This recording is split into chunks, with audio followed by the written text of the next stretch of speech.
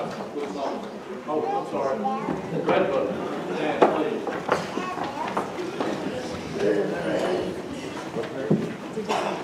Page 292.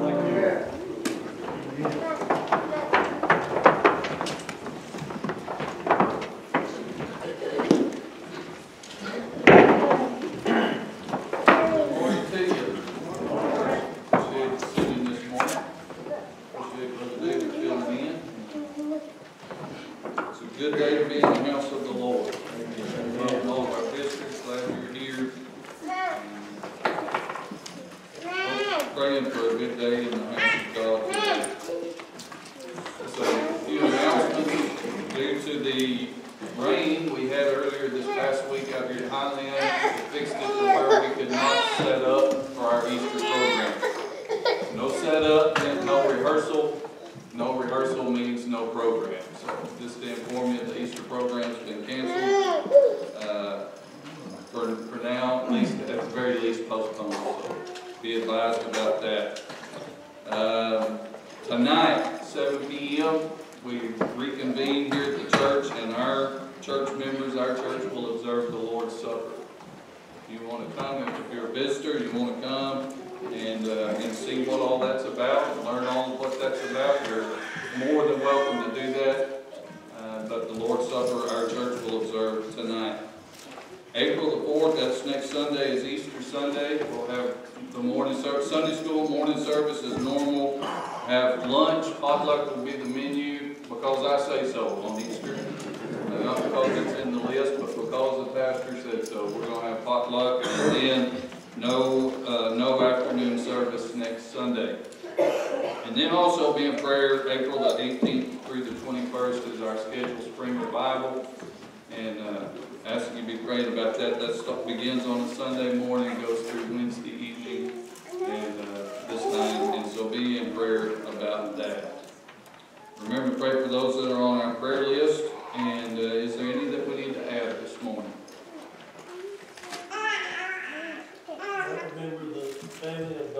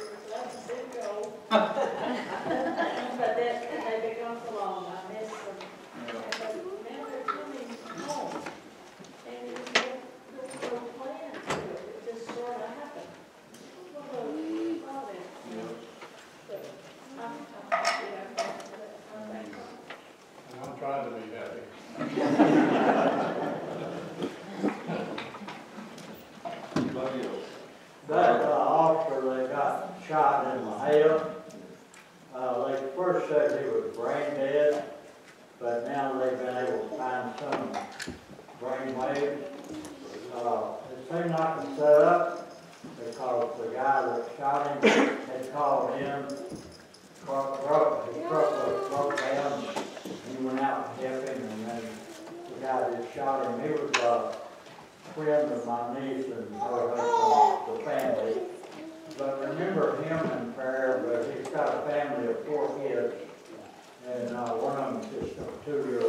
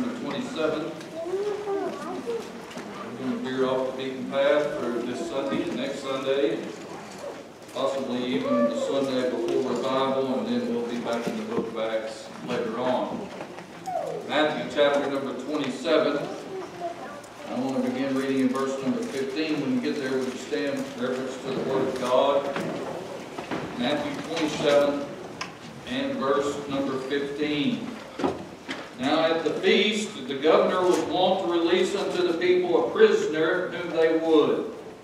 And they had then a notable prisoner called Barabbas. Therefore, when they were gathered together, Pilate said unto them, Whom will ye that I release unto you, Barabbas or Jesus, which is called Christ?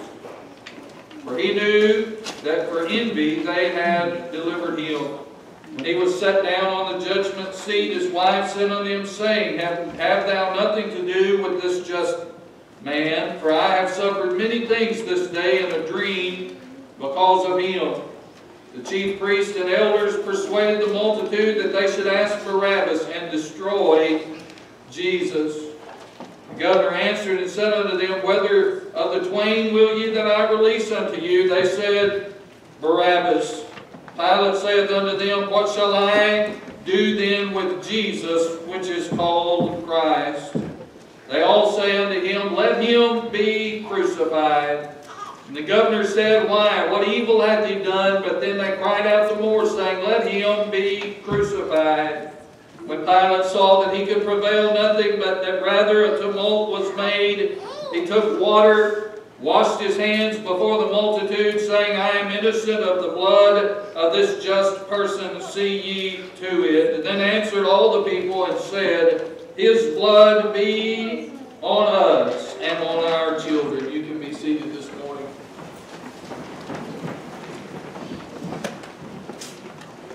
My wife and I stood in Pilate's Hall Israel when we were there. We stood there with Brother Lester and Brother Ron and these people and their families that went, parts of their family that went. Stood there at that place known as the Fortress of Antonia, the place where this very passage that we read took place.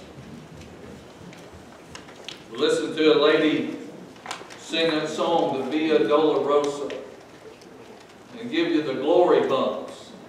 Those goosebumps come up all over you when you're standing in a place uh, as that is and thinking about what went on there all those years before. We saw that road that led out of that place and all the way to Calvary.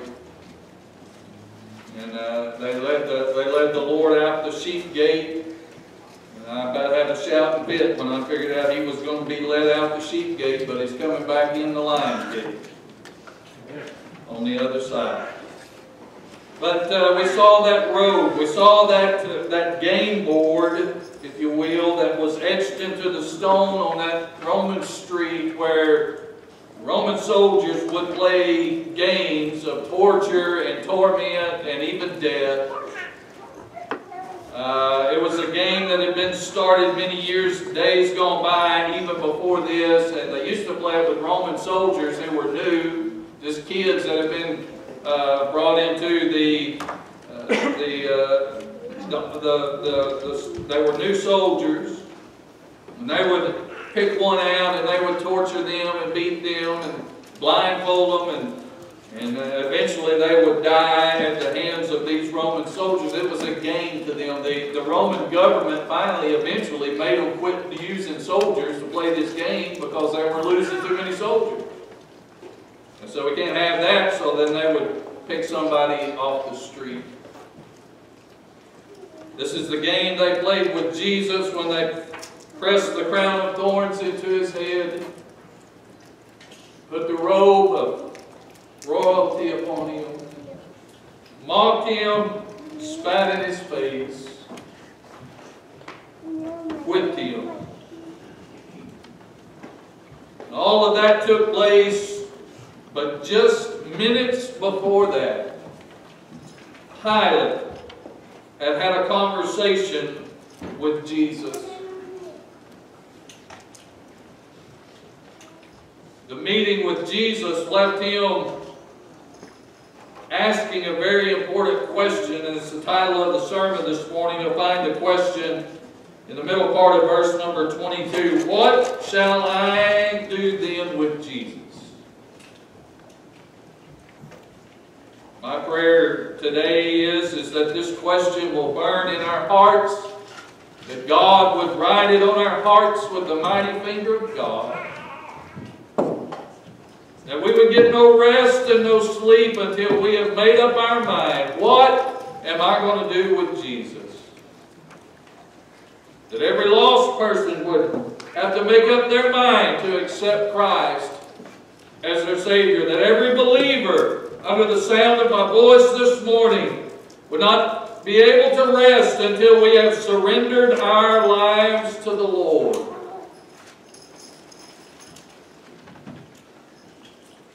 This meeting with Jesus for Pilate, it was a it was powerful, but I want you to first of all notice something. This meeting was powerful, but it was not out of the ordinary. The fortress of Antonia stands there at the northern in the northern wall of Jerusalem, and uh, just uh, just I think if I can remember correctly, if I have my bearings right, it's just north of the temple and uh, the Temple Mount, and it's there. That fortress of Antonia, it was made for dignitaries, for kings and princes to uh, have a place to stay when they visited Jerusalem. Pilate was there because of the holiday festivities. He was there because of the Passover feast that was going on uh, at this time. And that's where he stayed. That was customary. It was a familiar place to him. He also knew that there would be prisoners there. There almost always was. He also knew that it was a custom that Pilate, the governor, would release one of the prisoners at the beckoning of the people.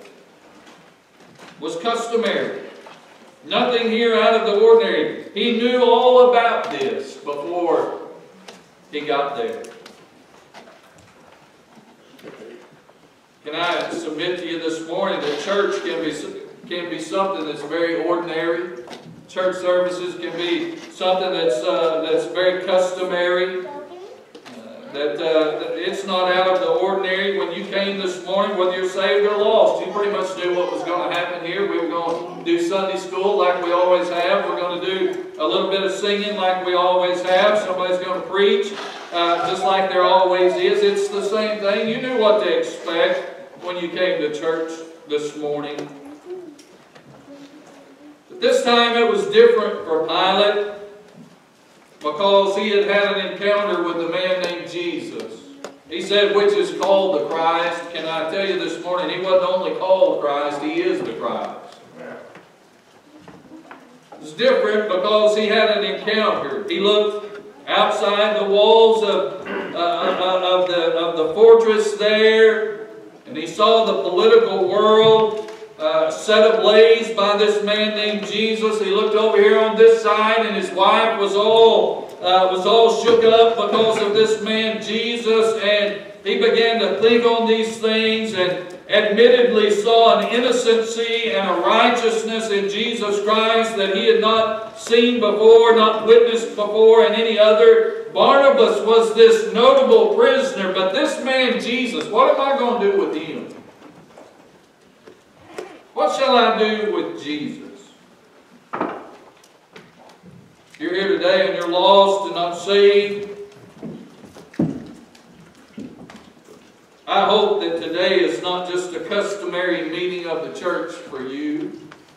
But as you sit today and contemplate the volatile political situation outside the walls of this church house, and how that, uh, that Christ has the political world all shook up in our day just as he did back then.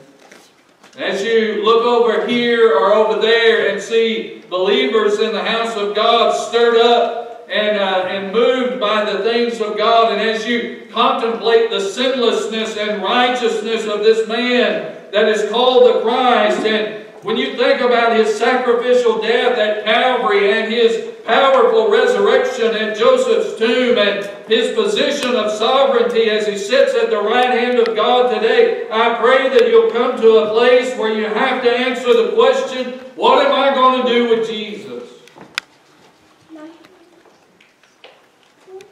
Pilate was faced with a serious and consequential decision.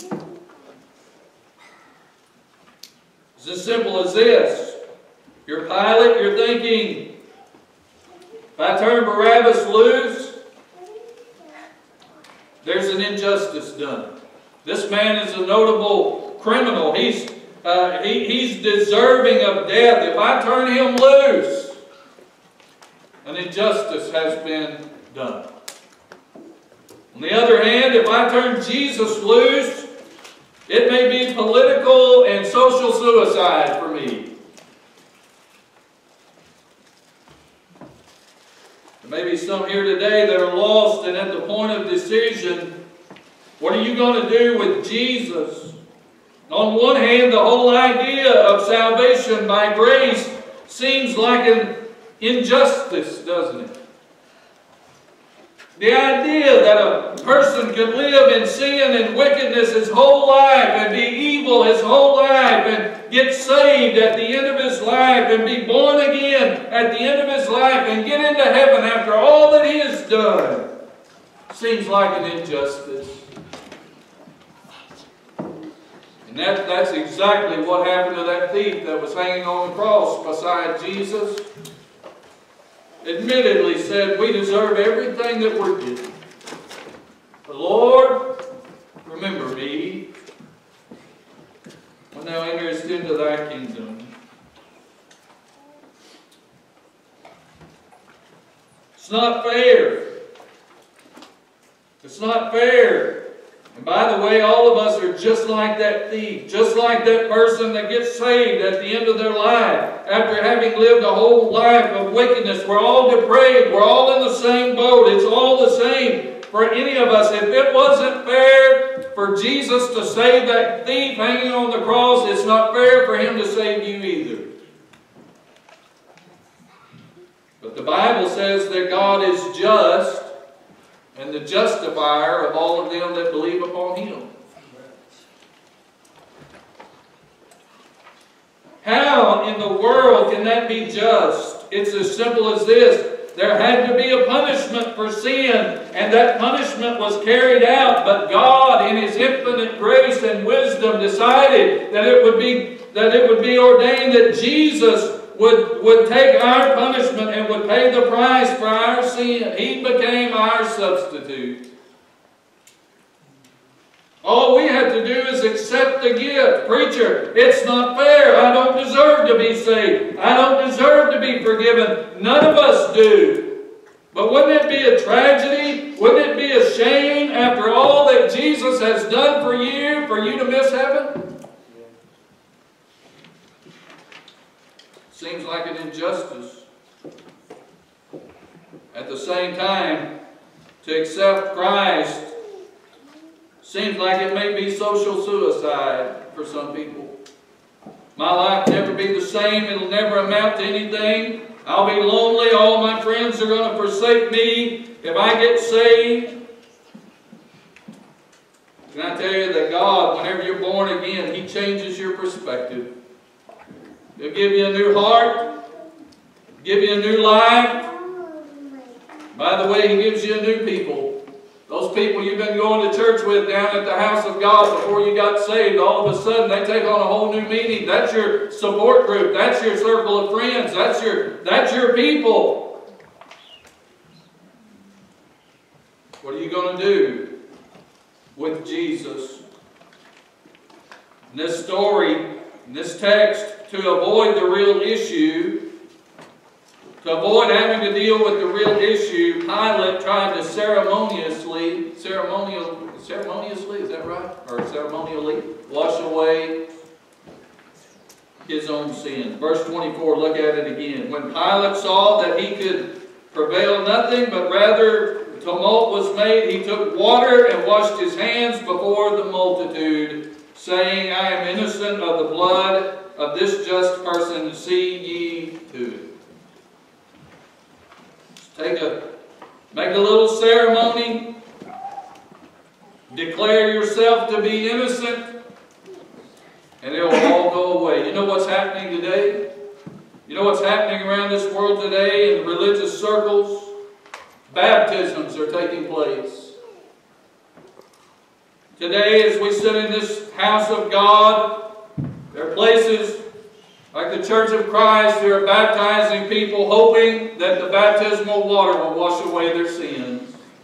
I'm not making fun, I'm not picking on anybody, not trying to anyway, but I want you to understand that the water in that baptismal has never washed anybody's sins away. Only the blood of Christ can do that. People in Methodist churches are being sprinkled, hoping that it will remove the stain of sin. Presbyterians all over the country are baptizing uh, babies, infants that have no way, there's no way that they're able to understand or make a conscious decision, none whatsoever, and they're hoping that because of something they did when that, when that kid was a baby will get them into heaven. By the way, there's been many Baptists calling themselves Baptists who have been through that same baptismal water back here hoping that that was enough. Sitting in Baptist churches today, hoping that they can blend in with the crowd that God will overlook and just let it slide by.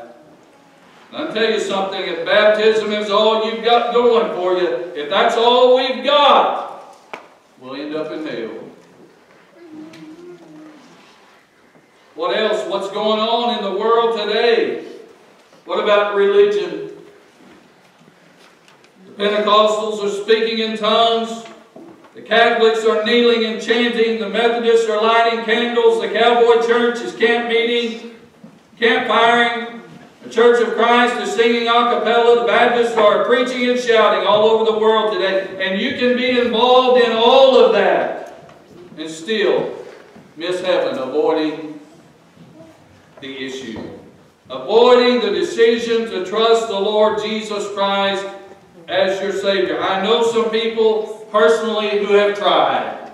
They've tried every religious thing that they know to do. I talked to one lady, I said, tell me about when you were saved. And she said, which time? She said, I've been in every church in this county, and I got saved in every one of them. I said, no, that's not the way it works. I talked to a man one time, tell me about your salvation. He said, I've been baptized in every denomination that I can find, hoping that I've covered all my bases. Friends, listen, you can cover all the religious bases and still end up in hell. Preacher, what can I do? What can I do? Friend, you must be born again. That's what the Bible says. You must be saved. You must acknowledge in your heart that you're lost in sin and separated from God. You must turn to Christ in your heart and accept Him as your own personal Savior by faith. For with the heart man believeth unto righteousness. You must be born again. What shall I do with Jesus? First of all, I want to say this in closing. The option to crucify him again is off the table. Off the table. The book of Hebrews tells us that Christ was crucified, that he offered himself once. And the next time, the second time that he comes, he'll be coming with, without sin unto salvation. That is, he's not coming to be crucified again. Jesus not coming as the, as the lamb slain again. He's coming the next time as the lion of the tribe of Judah. The option to crucify again is off the table. Preacher, why are you telling us, why, why are you telling us this? Because there's some folks today around about that are teaching people, teaching you if, if you'll let them that they that you can lose your salvation. You can lose your salvation. I want to say this to you. Christ died once. Christ was crucified once. Christ offered himself once. And you're saved once. and for all eternity. You can choose to be saved, that's your decision. But after you're saved, you can never be lost again. After you've been born again, you can't be unborn. The option to crucify is off the table. He's already died for your sin. However, you have the option, one option is to carry the guilt of sin all on yourself. I'll take what I've got coming. That's what the mob said. Let, the, let, let, let it be on us. Let the innocent blood be upon me. I'll just take my punishment, whatever it is. I'm sure if that's you this morning and in your mind, I'm sure that that sounds real tough and real big of you to say, well, I'll just take what I've got coming. I want to tell you something this morning, friend. Hell will be more than you can stand. Whatever it is you think you can stand, it'll be more than you can stand. All you'll be able to think about for eternity is how you missed the opportunity to be saved. But you have the option to carry the guilt on yourself. But the Bible, thank God, gives us another option. It tells us that we can roll the burden of our sin over on Christ. We can roll it over on Him and let Him be the bearer of our sin. By faith, allow Him to take away our sin. Let His saving blood be upon me and wash me white as snow.